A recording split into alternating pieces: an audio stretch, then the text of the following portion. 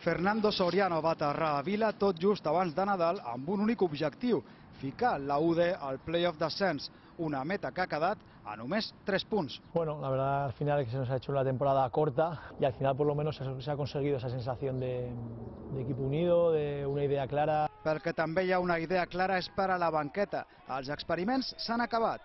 Pablo Alfaro continua. Pablo tiene un año más de contrato, estamos muy contentos con su labor, con su gestión y no se contempla otra opción.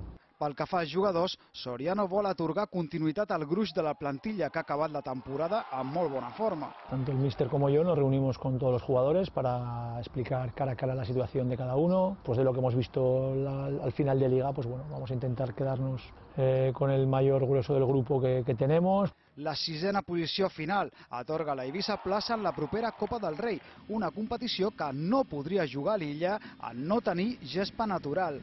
Una patata calenta per al club i per l'Ajuntament de la ciutat. Está en conversación, saben cuál es el proyecto de nuestro club, saben cuál, es nuestra idea, eh, saben ahora mismo dónde estamos, también saben lo que queremos intentar conseguir y que es una situación que, que que intentar solucionar.